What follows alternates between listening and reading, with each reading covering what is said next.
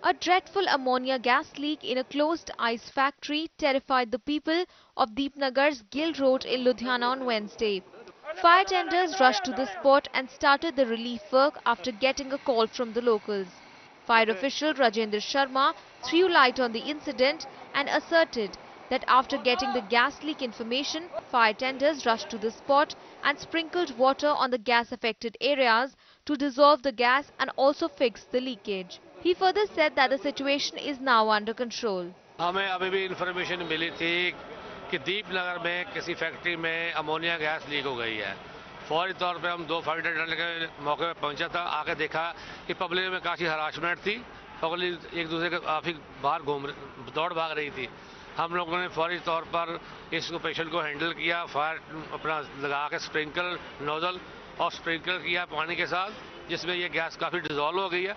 अब ये गैस जो है जो उसको लगाने के लिए हमने एक पाइप लगाया हुआ है आगे और एक बड़ा ड्रम है।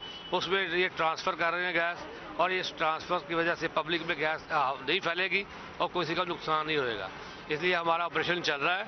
विद इन 20-25 मिनट तक ये ऑपरेशन खत्म हो जाएगा और पब्लिक को घबराने की ज़रूरत कोई नहीं है और ना ही कोई टेंशन लेने की है और ना ही ज़्यादा कोई हराश होने की ज़रूरत है। During the gas leakage in the area, people had problems of burning sensation in their eyes, headache and nervousness.